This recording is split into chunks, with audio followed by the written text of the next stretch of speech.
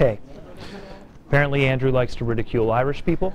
So uh, this looks pretty simple, and uh, I think it is pretty simple, but of course it will ask us to diagram an infinitive. So let's, let's start it out. Um, Laura, what is my simple subject? Very good. And Laura, what is my simple predicate? Likes. Okay. Easy enough. Andrew likes. Now we have to ridicule Irish people. First questions first. And a lot of hands are going up, and I'm glad to see that. But first questions first. What is to ridicule Irish people? Noun, adjective, and adverb, or adverb. And how do you know? Oh, the hands go down. Sam? Allison? Why is it a noun? What do you mean it's following the verb? Be more precise. It's the direct object. It's receiving the action of being liked. Therefore, to ridicule Irish people is one intact unit, is a phrase. What do phrases do? Somebody define a phrase for me. You know, it's that thing. That's right. Phrase. It's a phrase. It's a, it's a thing with the stuff. Come on, give me a definition of phrase. It will appear on the Mugs test. Yeah, you're getting closer to it, Noah. A group of words serve a similar function. That's correct. A group of words. A group of words, plural, that serve as a single part of speech. Reagan, you have your Warriner's with you today. It makes me so happy. Find out how to diagram an infinitive. In fact, I believe the Warriner's has an example of this particular type of diagram. So look up infinitives, find out where infinitives are, infinitive phrases, and then find the diagram. We know,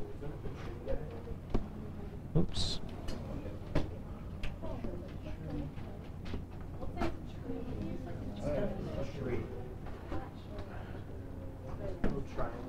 we know a fair amount. We know that this infinitive phrase is a direct object, so we need to mark direct object. Horizontal line. Somewhere over here will be our infinitive phrase. Why? Because if the sentence were something nicer, like Andrew likes puppies, the word puppies would fall right here. But of course, we have something more complex. Reagan, what do you have? The triangle thing. The triangle thing. Where is the triangle pointing? Up or down? Up. Now, Reagan's going to direct us here. I'm going to ask some questions. Why is the triangle pointing up and not down?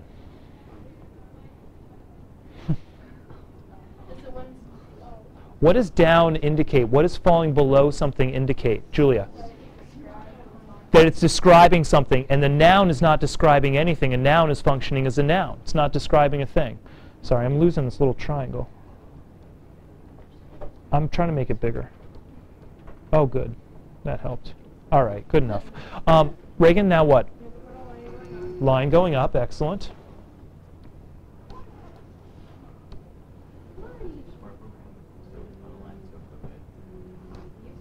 You have to put a line going like this, or down.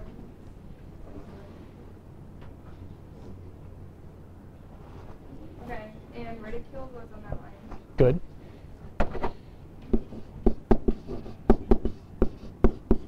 Let me remind you of something that Reagan's pointing out very clearly.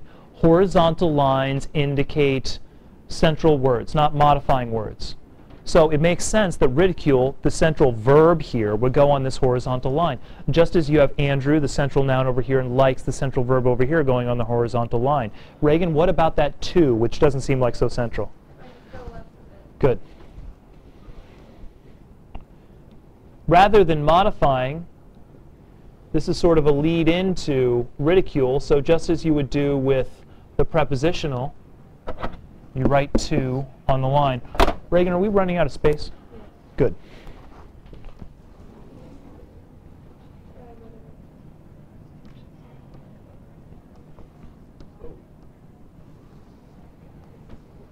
Why were we running out of space? Where will Irish people go?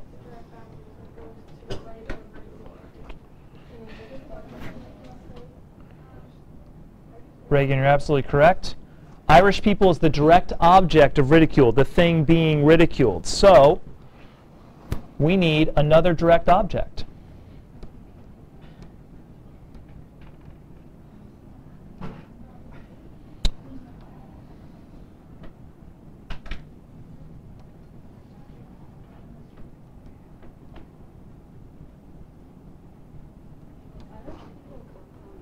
Excellent question. Is Irish a noun or an adjective? It's an adjective, therefore it's Irish people. It's compound nouns, Kim. Good question. And I was wondering if anybody was going to ask it. Compound nouns are two two nouns usually that that act independently of each other, or an adjective and a noun that act independently. One doesn't modify the other. For instance, um, we might say uh, book bag. Okay, book bag is a compound noun because there are two nouns that work together to describe one thing. People, however, are being described by the adjective Irish. Irish is qualifying them, modifying them, so we do not have the case of a compound noun.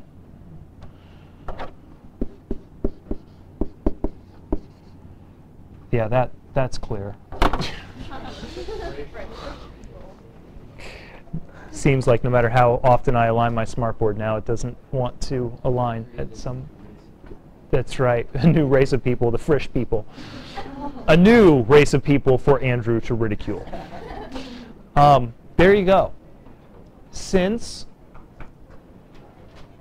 infinitives can work as adjectives or adverbs, sometimes this same structure will fall below because they're modifying adjectives or adverbs. But the only thing that you would do is flip. So Reagan was correct in directing this sort of triangle tree thing up because it must show that it is actually a noun. But it would be correct also to throw it down when it's an adjective or adverb modifying something. And if it were acting, to ridicule Irish people is Andrew's favorite activity. Now to ridicule Irish people is acting as what in the sentence? It's no longer a direct object. To, to ridicule Irish people is Andrew's favorite activity. The subject. So all of this, this entire mess would simply move over to this position. But it would still fall up rather than falling down because it's not modifying anything. Questions about that one?